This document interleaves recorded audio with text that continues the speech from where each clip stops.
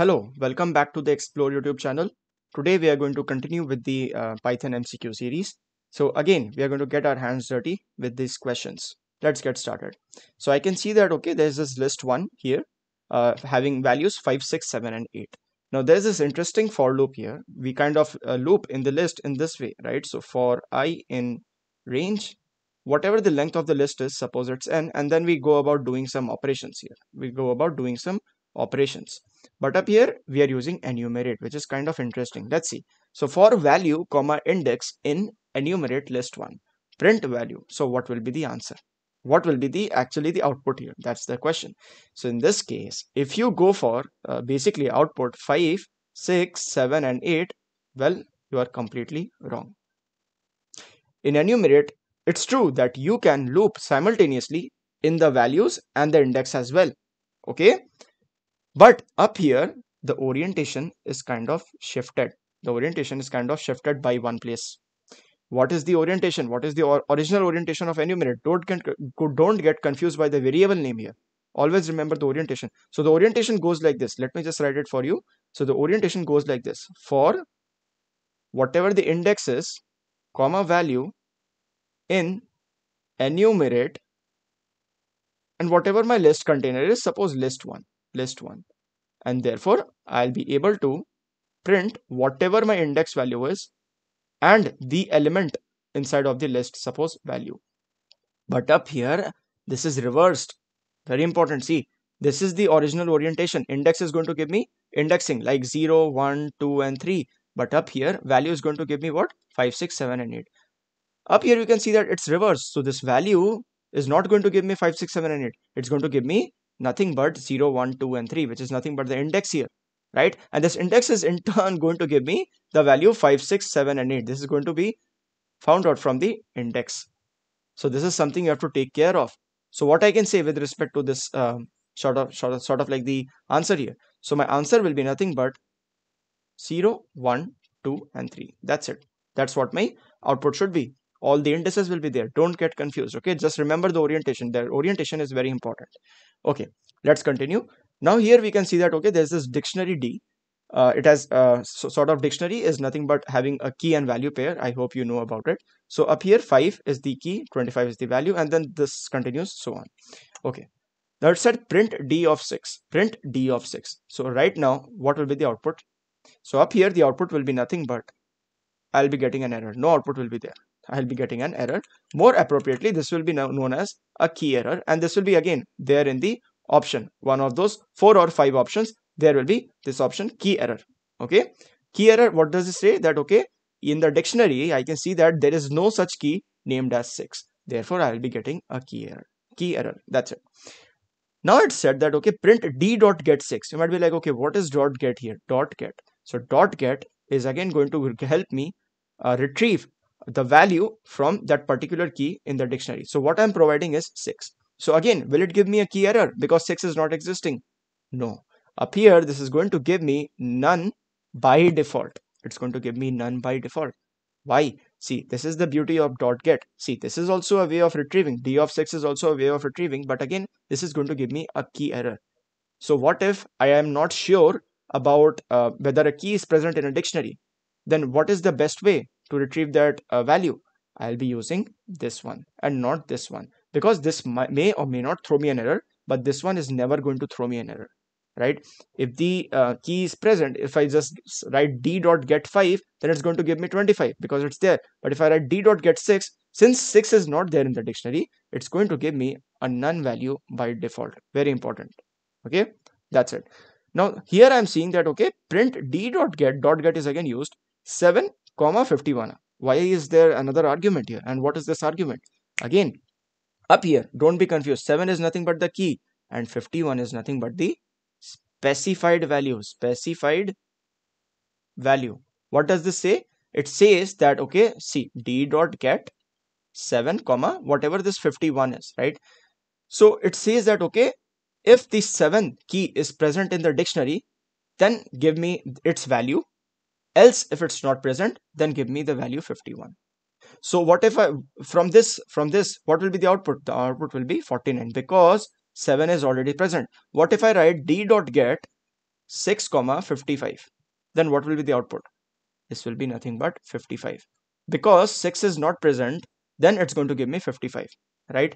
If I don't provide any value here by default this is nothing but dot get is nothing but none. I mean dot get 6 is going to give me none I hope that makes sense. Again these are very few important concepts which you have to remember along okay?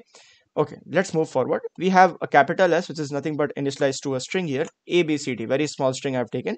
Okay now it said print ord s of 1 print ord s of 1 what is s of 1 by the way? So 0 1 2 3 at 1 i can see b is there. Small b not capital b small b is there.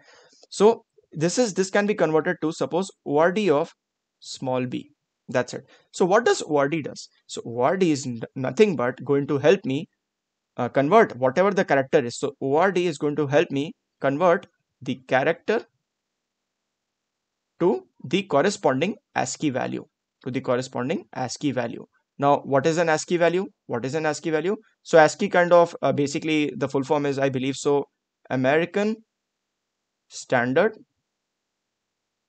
Code for information for information interchange.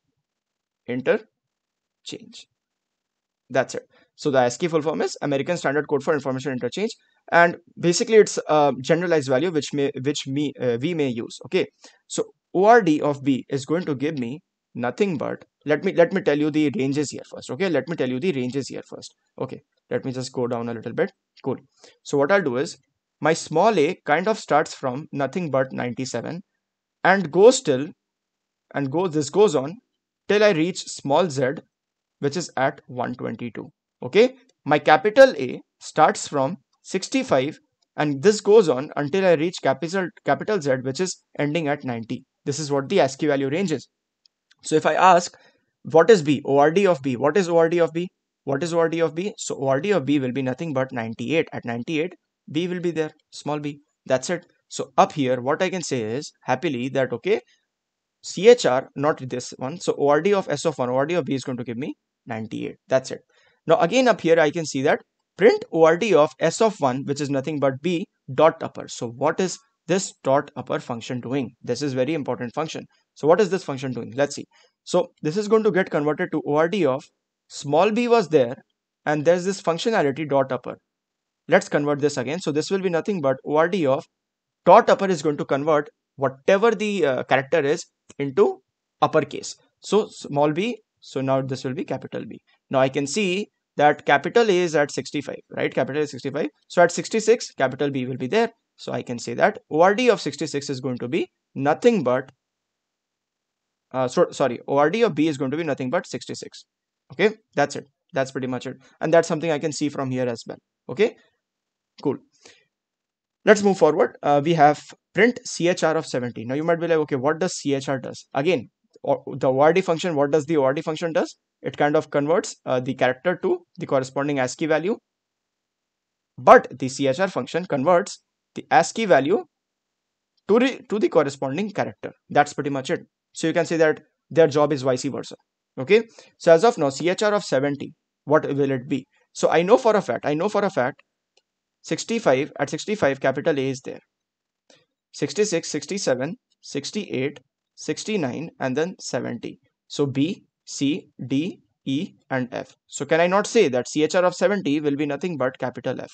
That's it. And again, um, the uh, apostrophes won't be there. Okay, I hope that makes sense. So print CHR 70 capital F. That's it. Print CHR 120. What will it be? Again, I have to kind of remember the ranges here. It's quite important.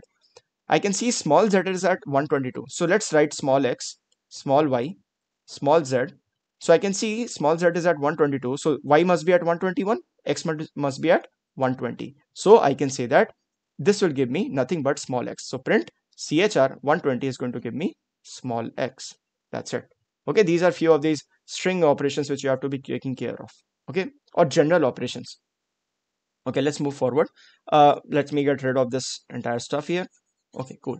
So we have this list here, 566 okay notice 6 is repeating here and 5 is once s is nothing but a set of l1 so again this is going to be get, getting converted to so s is going to be nothing but 5 and 6 itself. Now it said for i in range length of s which is nothing but 2 here right? My s is up here 5 and 6 so length of s is 2 so print s of i. So what will be the output? Well the output will be 5 and 6 and if you go for this output you are very much wrong you are very much wrong. Why? See in set in python you cannot just loop in the set. You cannot simply just loop in the set. There's no way you can loop because set does not supports indexing. Okay? So what i can say is that okay this is going to this entire line here this entire line here this one and this one is going to give me an error. Okay? So what is the appropriate way to loop in the set? Again this one is the appropriate way appropriate way. So for element in set so i've just written ele lea element so for element in set print element so it's going to simply print 5 and 6 that's it. Okay 5 and 6 that's it. Okay great. Let's move forward. We have a list here. I can see l2 is 10 11 and 12 now it's saying for a comma b in zip l1 comma l2 now what does this zip functionality do? And why is it taking two arguments? Right right? Why is it taking two arguments? Zip l1 and l2 so what is my l1 l1 value is nothing but 566 let me just write that l2 value is nothing but i believe so 10 11 and 12 10 11 and 12 so zip functionality says that okay I'll kind of pair up all of those corresponding elements at the corresponding index. What do I mean by that? Let's see. So let me just write the indexes as well 0, 1, 2, 0, 1, 2. So if I do a zip of L1 and L2, then this is internally getting converted in this way 5 and 10, 5 and 10. It will be paired up. 6 and 11 will be paired up. And at the end, we have 6 and 12, which will be paired up. That's it. Now it said that I'm looping in this way for a comma b. So a will be uh, pointing to this one and b will be pointing to this one. So if I print, then this is going to give me nothing but 510. In the next line, it's going to give me 611. In the next line, it's going to give me 612. You can see the corresponding numbers are printed 5, 10, 6, 11, 6, 12. In that way, it's going to get printed. Now let's try to uh, let's try to see another uh, variation of this. L3 is here. So L3 is here initialized with value 10 and 11. I'm saying for a comma b in zip L1 and L3. Will this be an error? Again, I'm performing zip here. Will this be an error? Why am I saying this will be an error? L1 is nothing but 566 and I can see L3 is nothing but 10 and 11. So I am kind of running out of indexes, right? I mean, this is 0, 1 and 2, 0, 1. So I see that, okay, if I perform a zip function, functionality, by the way, of L1 and L3, if I'm not wrong, then this should probably give me nothing but 5, 10. So this should be 5 and 10. Then we will be having 6 and 11, right? Now, will there be an error here? Because I can see that I have nothing to pair up 6 with. Or will it be something like 6 and none? Will it be something like that? No. This will simply be ignored. This will simply be ignored. And this will be simply it zip of 510 and 6 11 so if i print if i go about printing a and b then the answer will be nothing but 5 will be paired up with 10 so 5 and 10 will be at the very first step. Then i see that okay we have 6 here. Then this will be print, uh, paired up with 11 not printed but paired up with 11 so 6 and 11 will be there. That's it. This is what my output will be. So it's is it not fair enough to say that the zip functionality will work on basically the smallest list of them the smallest length of the list of them right? So as of now what was the smallest? L3 right? So i can see that the zip is also going to be containing at most two elements or at least like two elements right? Or at most. You may figure it out. Okay let's see with the last one. So for value so we have something like for value in l1 print value and then l1 is initialized to 1 2 3 4 5 6 7 okay? So as of now l1 is 5 6 6 so as of now my l1 was nothing but 5 6 and 6 now for value in L1, so I'm just kind of going to loop here and get these values 5, 6, 6, 6. But again, I'm saying print value. So 5 gets printed. Now my L1 is getting initialized to new list 1, 2, 3, 4, 5, 6 and 7. Will this be an error? That's the question. Because see, 5 will be printed. In the next line, 6 was supposed to be printed. But again, L1 is initialized to some another list. So I'm, I am changing, I am dynamically changing list 1 here. While looping, I'm dynamically changing list 1. Will this be an error? No, the answer is no. What will be the output then? Will the output be something like uh, 5 will be there and then the list has been changed. So it will be 1, 2, 3, 4 and then till 7. No, again this won't be the output. The output will simply be whatever the original contents were. 5 uh, in the next line 6 and 6. why see internally this is what's happening okay internally this is what's happening so this is getting converted in this way. For value in whatever list one is so list one is suppose 5 6 and 6 and this is kind of getting stored here. So this is not going to change. This is not going to change at all. Now i'm just saying that okay print value print value. So as of now 5 6 and 6 will be printed despite list 1 is changing to whatever the value is. Suppose 56 66 and then so on. I don't care. Despite the list 1 is getting changed i don't care about it it has been stored properly here so it's going to give me 5 6 and 6 that's it. So i hope the uh, explanation was quite clear enough. If you found the video helpful please make sure to like the video and do subscribe the channel as well. Thank you